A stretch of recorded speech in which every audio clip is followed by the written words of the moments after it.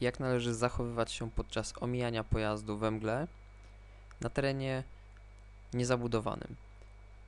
Tutaj mamy tabliczkę, że zaczyna się miejscowość, ale nie ma tabliczki, że zaczyna się y, teren zabudowany, czyli teren jest niezabudowany. Wyprzedzamy we mgle, czyli w warunkach zmniejszonej przez przejrzystości powietrza, czyli na pewno musimy zachować szczególną ostrożność.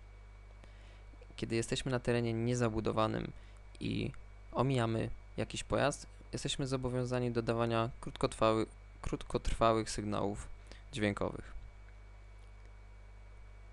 Możemy włączyć światło przeciwmgielne tylne pod warunkiem, że widoczność spada na mniej niż 50 metrów. Jeżeli chodzi o włączanie świateł drogowych we mgle, no to nie ma to zupełnie żadnego sensu, ponieważ oświetlimy tak jakby sobie ścianę mgły przed naszym samochodem i nie będziemy już wtedy widzieć kompletnie nic, pomijając, że nie wolno oświetla- oślepiać innych uczestników ruchu.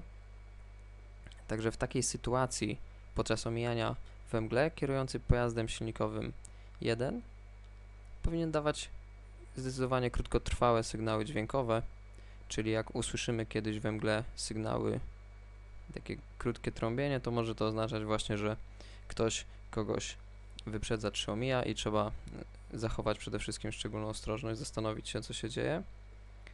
Może mieć włączone tylne światła przeciwmgłowe, ale tylko i wyłącznie pod warunkiem, że ta widoczność spada na mniej niż 50 metrów. Kierujący nie powinien mieć włączonych świateł drogowych.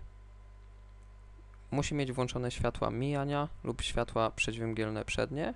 Może włączyć obydwa te światła jednocześnie. Świateł drogowych nie.